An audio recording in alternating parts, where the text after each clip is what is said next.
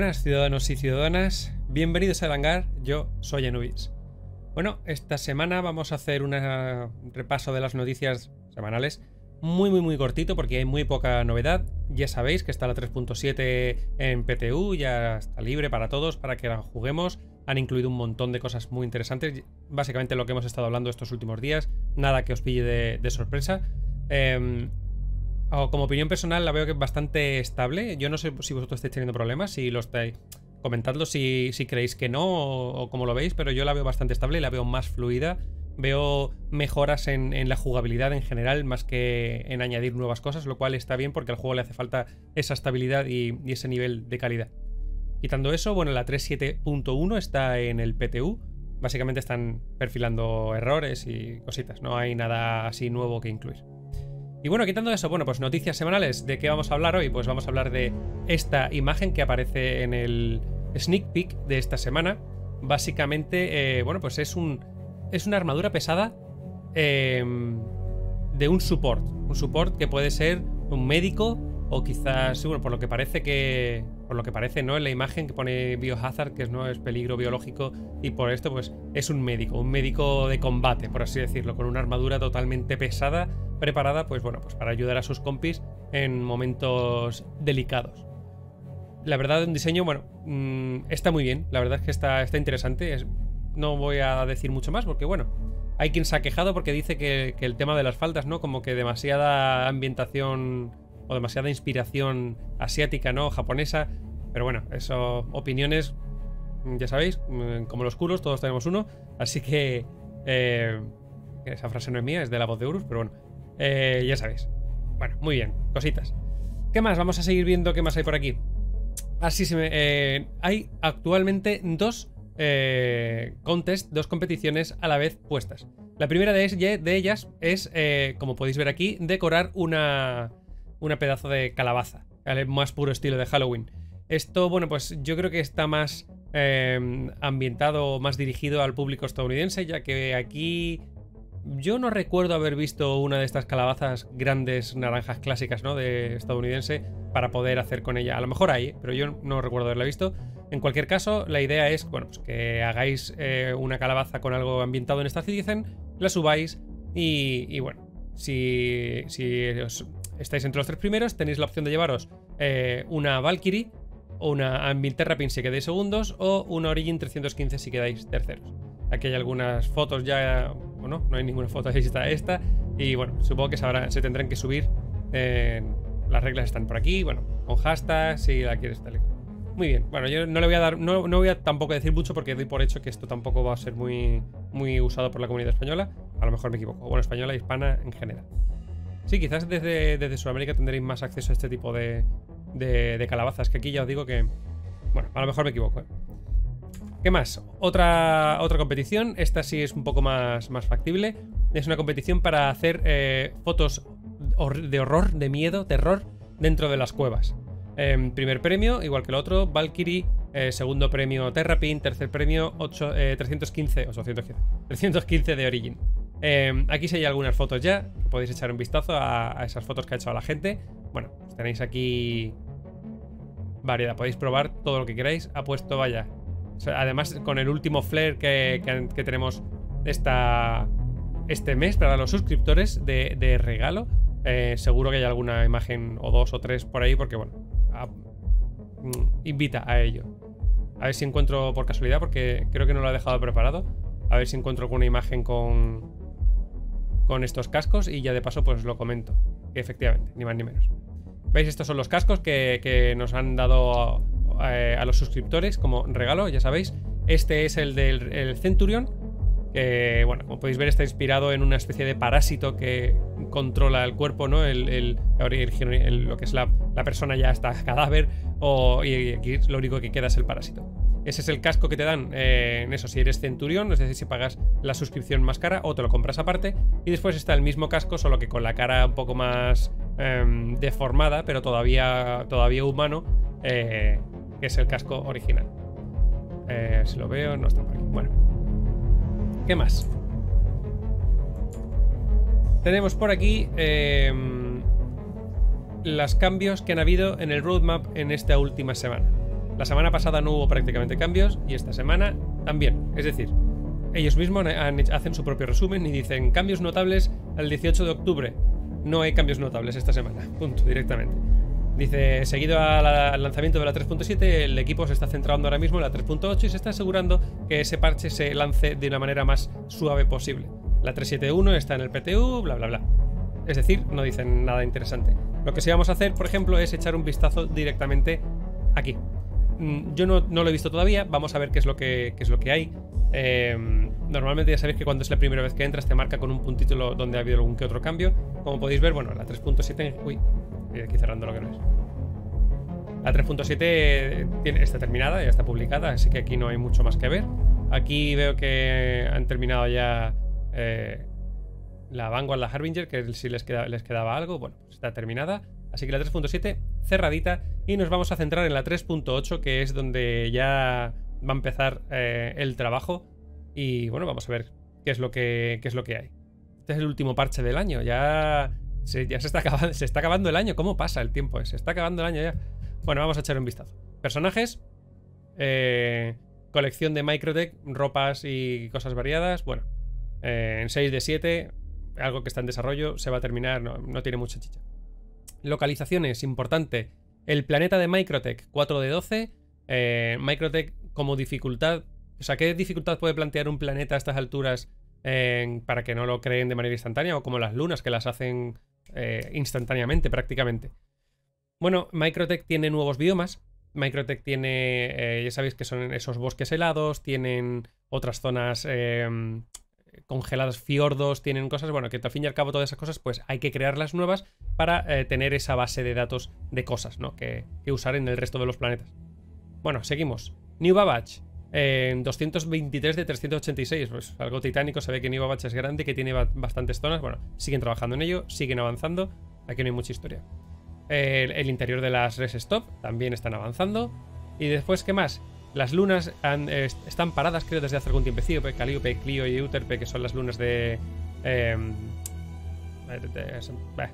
a eso, Microtech. Me he quedado ahí pillado, joder. Eh, de Microtech, además si lo pone aquí, así estamos ya. Bueno, pues la luna, las lunas que, que al crearlas inicialmente prácticamente están desde como las crearon y supongo que esos, esas tareas que les falta por completar son básicamente los detalles, algunos detalles de cada una, esa personalidad que se le da a cada una de las lunas para que no sean simple copy-paste, no unas de otras. Bueno, estará, estamos por Inteligencia artificial. Eh, mejoras en los vendedores, está programado. Bueno, eh, tipos de, armas FPS, programado. Aquí tenemos eh, el Pathfinding versión 2 de las naves en, en lo que es 3D. Bueno, estamos hablando de que las naves encuentren su camino mientras vuelan dentro de, un 3D y que elijan correctamente qué camino seguir y no chocarse con las cosas, etc. Vale, está en desarrollo, 25 de 27, esto ha pegado un avance muy importante con respecto a, cómo estaba, así que bueno, ya también fue atrasado, esta es una, característica que estaba anteriormente en, otras, eh, en otros parches, pero ha sido atrasada, para supongo que para dedicarle el tiempo que se merece, está a punto de estar terminada. Aquí tenemos esta, el tema de las terretas defensivas, ¿Qué más? Ace Pilot es un piloto mm, habilidoso, por así decirlo, con inteligencia artificial de piloto, piloto pro. Vale, pues está programado. Lo acaban de meter, o sea, lo han metido aquí. Bueno, perfecto, sin problema. El, camarero, no, ni una palabra más del camarero.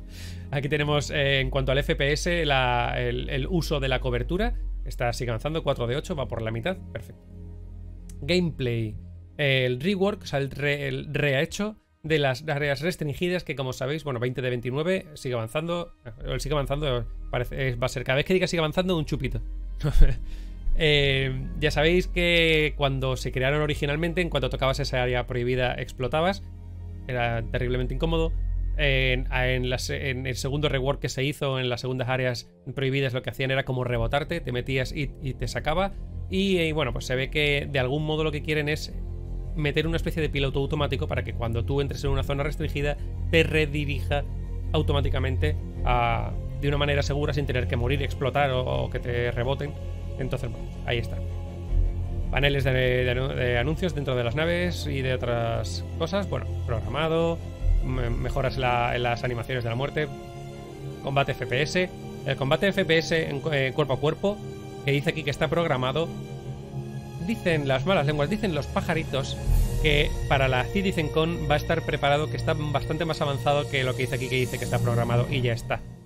Eh, quizás sea una de esas sorpresas, nos quieren ahí sorprender a última hora. Bueno, pues aquí está. Y después mejoras en la experiencia de eh, la cabina de las naves, 4 de 5. Bueno, no sé exactamente. Bueno, sí. Em, nuevos efectos visuales, nuevos efectos de audio. En general, bueno, pues mejora la experiencia de la cabina, que sabéis que Christopher le da mucha importancia. Naves y vehículos. Bueno, la Xperia Prowler, que hay una gran cantidad de gente bastante contenta con, que salga esta nave. Es una nave que a mí visualmente, o sea, estéticamente me gusta muchísimo. La raza Tevarin me, me levanta mucha interés, me parece, me parece muy curiosa. Eh, por otra parte, soy de los que piensa que las naves de descenso en el juego, al menos ahora mismo, tal y como está el universo de Star Citizen, el universo persistente, no tiene mucha utilidad. Básicamente es una nave bonita para mí ahora mismo. Aquí llega la reina del parche, eh, indiscutible, la Anvil Estamos todo el mundo locos porque salga, porque salga. Yo, yo al menos estoy loco por que salga. Aunque, sinceramente, también tengo aquí una Mercury esperando que salga y casi que preferiría que saliera la Mercury antes porque es una nave que voy a usar más a menudo. La Carrack va a salir y la voy a usar, pero evidentemente, tal y como está ahora mismo el universo persistente, tener la, la nave de exploración en un sitio donde no hay nada que explorar, bueno, pues tampoco es muy útil, pero ahí está mucha gente, yo incluido, esperando que salga, sigue avanzando. Me parece perfecto. Y la Cutlass Red, que ya sabéis que es la versión eh, eh, ambulancia de la Cutlass, la Cutlass. Así que, bueno, pues ahí está. Eh, yo no creo que tarde mucho en hacerla. Está programada, pero no creo que tarde mucho porque básicamente es el mismo chasis y, le añaden cuatro cosas más. Una camilla adentro, algo de material, etc. No creo, no creo que haya mucho problema y que tarde mucho en hacerlo. Por último, dos armas. Eh, Berring P6LR Ballistic Sniper Rifle, otro rifle francotirador. Siempre están bien los rifles francotiradores. Y el, lanzamisiles que ya llevan bastante tiempo eh, eh, ensayando fotos, ensayando cosas de lanzamisiles. Ya es verdad que. Bueno, no, sé a qué esperan. Ahí está, están programando. sería interesante. La verdad, tiene que ser interesante el gameplay y habrá que ver el daño que es capaz de hacer un lanzamisiles a una nave aunque sea una nave pequeña con un arma de, con un escudo tamaño 1, ¿no? Estaría interesante ver eh, cómo lo hacen. Bueno, pues en definitiva vemos que la 3.8, eh, que es el parche que va a entrar ahora, eh, no hay grandes avances, o sea, se está avanzando en cositas, pero no hay grandes avances. Y la respuesta, bueno, pues evidentemente es que están trabajando fuerte en, en la CitizenCon. Muy probablemente habrá sorpresas, que ya sabemos que las hay, pero sorpresas con respecto al propio parche me refería. En cuanto a Squadron 42, bueno, pues básicamente nos vamos a centrar también en dentro de las características. Aquí han hecho alguna mejora, a ver si están. La Javelin sigue avanzando y la Idris sigue avanzando un poquito. Bueno, esto es para la historia. En cuanto a Squadron 42 también están ligeramente eh, parados, o se ve, yo he observado como que estos dos, estas dos últimas semanas han ido más lento, pero yo lo achaco a lo mismo. Em, están desviando recursos para la CitizenCon. En cuanto pase la CitizenCon, empieza el nuevo año, todo volverá a su curso y todo volverá a la velocidad estándar, que no es muy rápida, pero por lo menos es una velocidad estándar. Así que bueno, ¿qué más mejoras han hecho? Bueno, pues eh, aquí vamos a irnos directamente a los cambios. Eh, bueno, este se comparte con el universo persistente, que es el, uso de la cobertura por parte de, los NPCs en FPS, en primera persona, combate en primera persona. Después, eh, algo que se llama Realistic Firing, o sea, disparos realistas, mejorando el comportamiento de combate del FPS y cómo escoger correctamente las armas y las tácticas a usar. Perfecto, muy bien, me parece de lujo. Aquí tenemos también los tipos de armas en los que están trabajando también, muy bien me parece perfecto. O sea, todo lo que sea añadir inteligencia artificial y añadir un reto real, eh, me parece siempre de lujo. Aquí esto lo comparte también con universo persistente, que es esa búsqueda de caminos dentro de, del espacio 3D.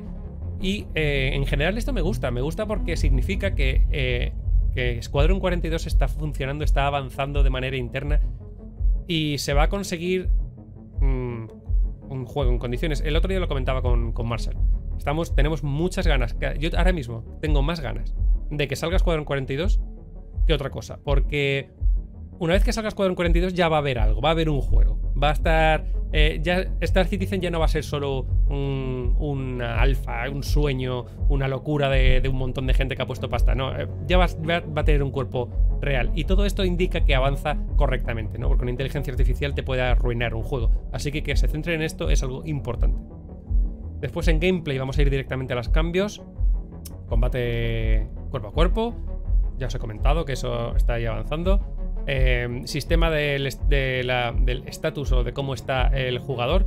Em, versión 1. A mí esto me da la sensación de que puede ir directamente relacionado, ya sabéis, con el tema de eh, higiene, comida, bebida, etcétera, lo cual le da ese toque a Star Citizen que lo hace mm, espectacular. Yo creo que en su justa medida, porque el juego no, no debe de ser un juego de supervivencia, pero sí tiene que tener ese, ese toque, ¿no? Interesante. La verdad es que me llama la atención. Y por último, en Cortec, que vamos a ver qué, cambios han habido aquí, han metido y programado eh, sistema de daño físico, bueno, un simulador eh, de colisiones. Ah, de Soft Body Collision Simulator on Rigid Vale, es. Me explicaron el otro día lo que es un cuerpo blando, es cualquier cosa que, dentro del juego tiene, tiene cierta. Bueno, como su propio nombre indica, eh, cuerpo suave, no sé, es como algo blando, ¿no? Y el simulador de colisiones con objetos rígidos. Eh, puede ser muy interesante. No, yo creo que algo de esto ya hemos visto antes en, en la CitizenCon del año pasado nos enseñaron alguna que otra cosa, pero bueno, está programado para aquí. Después también, esto es efectivamente también se enseñó en la CitizenCon del año pasado, la simulación de telas. claro, una cosa es la tecnología que nos enseñaron, es decir, de manera aislada nos dijeron esta es la tecnología que queremos aplicar, en esto estamos trabajando, y otra cosa es aplicarla al juego. Por otra parte, también ya sabéis que esto es una cuestión de prioridades. Aunque tengan la tecnología medio preparada, si interesa sacar la nave de turno, porque hay que sacarla, pues se centran, a lo mejor cogen parte de ese equipo y lo ponen en la nave y, esa tecnología se deja para más tarde, porque bueno, pues directamente hay que hacer otras cosas antes, ¿no? Entonces ya sabéis que bueno, eso está programado. ¿Qué más? Em, cargar y guardar. Algo muy sencillo, cargar y guardar la partida, bueno, está muy bien. Eh, aquí también han hecho mejoras en el sistema de interacción con los, jugadores, o sea, con el jugador. Y bueno, pues por en principio no vamos a darle más vueltas a Squadron 42, que, bueno, yo tengo ganas de que salga. Sinceramente, tengo ganas de jugar a Star Citizen y de ver el lore y de disfrutar de su historia, etcétera. La verdad, mm, tengo ganas. Ya está. No voy a decirlo más. Vale, siguiente. No hay siguiente, hemos terminado. Pues ya está, chicos, pues ya sabéis, habéis visto que esta es una semana un poco así light, ¿no? Está como recién salido el parche, eh, no hay mucho de lo que hablar. Tengo eh, programado, tengo preparado, mejor dicho, el vídeo de la de eh, Naves Express de la Banu Defender, que también me lo grabó Marshall, me hizo el favor. Y, muy interesante, la nave me ha, me ha, gustado más de lo que creía que me iba a gustar. Ya, ya la veremos. Y ya está, con esto me despido, chicos. Espero que, bueno, pues os haya venido bien el vídeo, os haya gustado. Ya sabéis, si ha sido así, me dejáis un comentario, me decís lo que queráis. Eh, ya os contestaré yo, ¿no? O a Marshall o quien sea. Eh, no, quien sea, no, Marshall o yo, ya está. Eh, ya está, si os ha gustado, like, comentario, suscribiros si no estáis suscrito para estar informados de las últimas noticias de Star Citizen y esperemos que añadan ya dentro de muy poquito estos Inside Star Citizen para ver qué información nueva nos llega. Chicos, nos vemos en el universo. Chao.